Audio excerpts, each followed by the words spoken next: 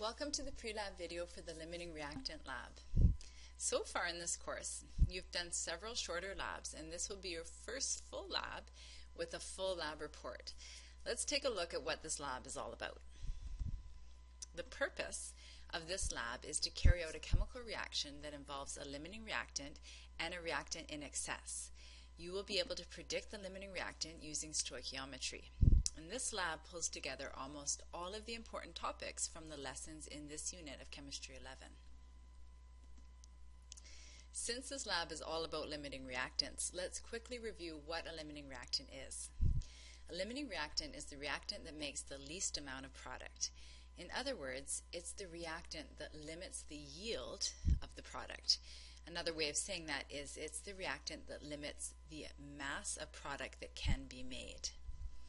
Many reactions in industry or in everyday life do not occur in exact amounts. In other words, they don't occur in exactly the right ratios of reactants based on the mole ratios required by the chemical reaction equation. Instead, one reactant may be present in excess for a number of different reasons.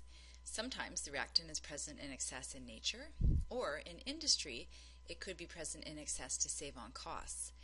If the other reactant is expensive or rare, we want to fully use it up, so we ensure that we react it with another chemical in excess.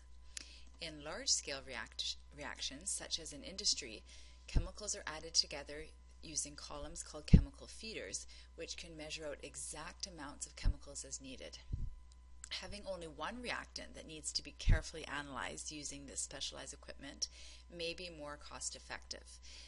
Not having to add both chemical reactants in exact amounts can be simpler and easier to control. Reacting one chemical in excess can be a good option, especially if the excess chemical is easy to isolate from the product in the end.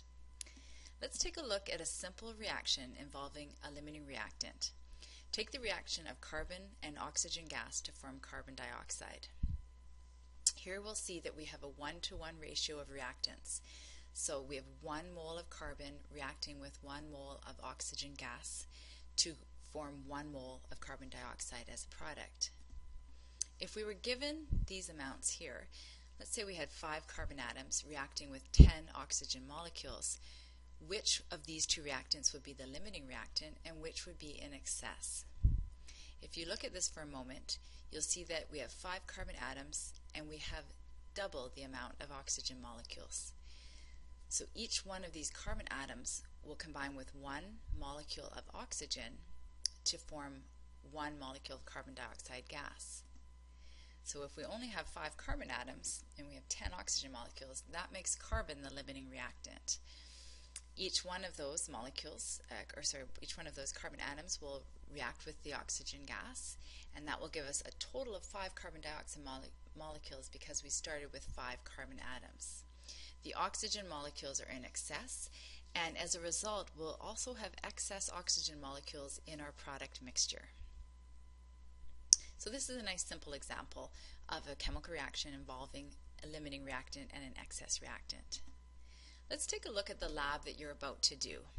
In this lab, the reactants are solid potassium dichromate and solid silver nitrate. Now because these are both solids, we will dissolve each solid reactant in water so that they can be mixed together easily. When these reactants are combined, they produce silver dichromate, which is a solid product, and potassium nitrate, which will be an aqueous solution. The purpose of this lab is for you to predict the limiting reactant and the reactant in excess. You will be given the masses of each of the reactants and you will need to determine before starting the lab which reactant is the limiting reactant and which is in excess. Once you've determined the limiting reactant, you'll be able to determine the theoretical yield of the products.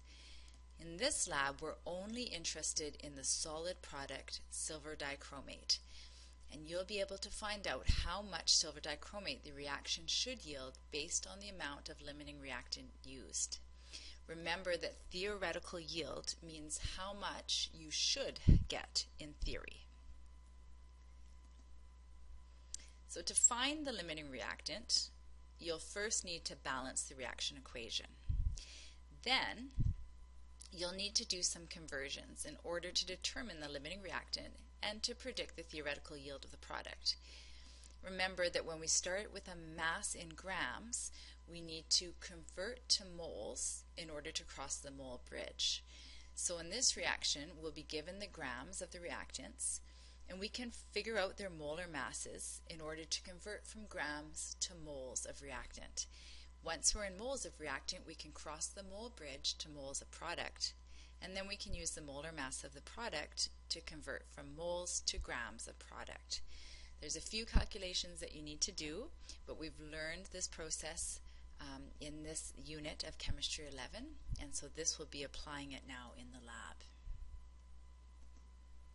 Let's look quickly at the experimental procedure for this lab. This will help you understand what's going to happen, and it will help you as you read over the lab itself. So first off, we start with our two reactants, potassium dichromate and silver nitrate. In the beginning, we have them as solid reactants. So we dissolve those solid reactants in water to create aqueous solutions. These solutions can then be mixed together to react.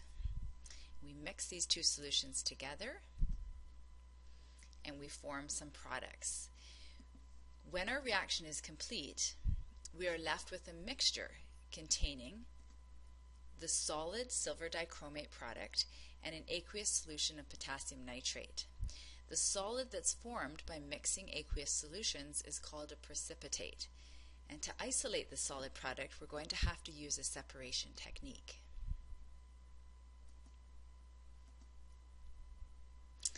The technique that we choose is gravity filtration.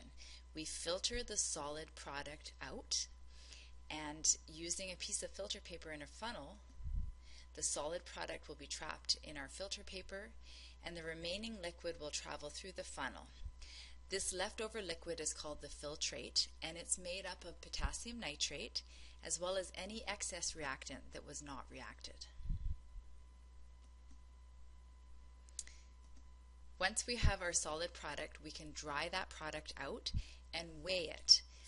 Remember that we predicted how much product we should get, and now at the end of the lab, we can see how much product we actually got. So the purpose of the lab to predict the limiting reactant, to predict the theoretical yield of the product based on the limiting reactant, and then finally to measure the actual yield of the product and compare it to the theoretical yield.